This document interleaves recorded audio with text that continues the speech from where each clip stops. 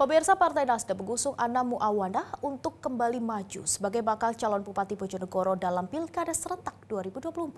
Hal tersebut ditandai dengan penyerahan surat rekomendasi dari DPP Partai Nasdem melalui DPD.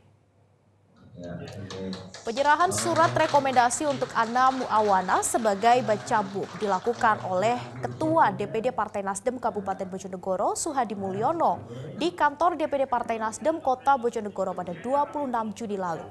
Ana Muawana merupakan calon petahana yang akan kembali maju sebagai kandidat calon Bupati Bojonegoro untuk periode 2024-2029.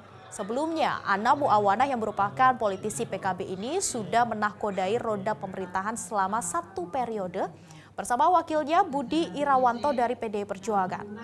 Partai Nasdem menjadi partai ketiga yang memberikan rekomendasi untuk Ana Muawana setelah PKB dan PAN.